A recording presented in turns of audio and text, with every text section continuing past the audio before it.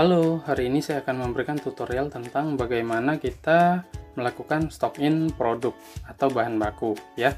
Jadi sebelum kita melakukan penjualan, penting sekali untuk kita menginput dulu stok bahan baku sehingga nanti stok bahan baku atau produk yang kita jual itu tidak menjadi minus. Nah, jadi bagaimana cara kita melakukan stock in adalah masuk ke menu inventaris lalu kita ke stok masuk ya. Kemudian kita tambah stok masuk baru. Oke, kemudian kita pilih tanggal, lalu kita mau lakukan masuk ini ke outlet mana. Jadi kita pilih outletnya dulu, apa mau ke Kopi Pekalongan 2 atau Kopi Pekalongan ya. Misalnya saya mau ke Kopi Pekalongan ya. Jadi e, catatan ini boleh diisi, boleh tidak. Misalnya e, stok masuk, stok awal bahan baku misalnya ya.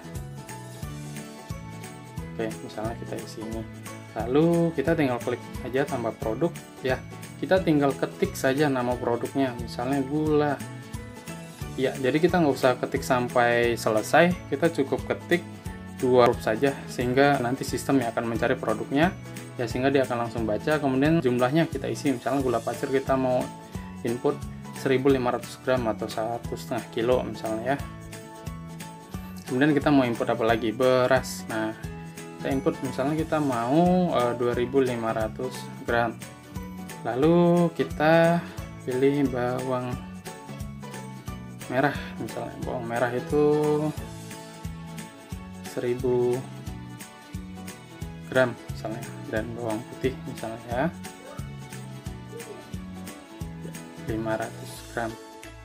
Ya jadi ini silahkan diinput sesuai dengan stok bahan kita ya. Jika sudah selesai kita klik submit. Are you sure to continue? Kita klik OK.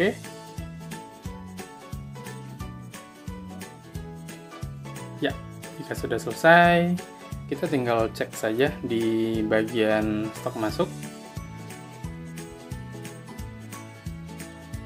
Cafe Pekalongan tanggal 1 November 2020 kita melakukan stok awal bahan baku ya. Kita klik detailnya ini adalah detailnya.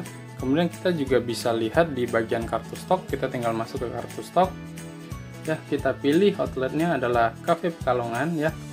Kita klik show. Ya.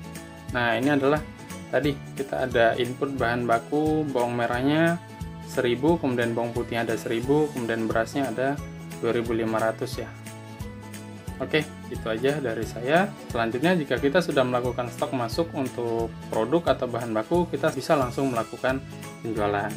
Oke, terima kasih.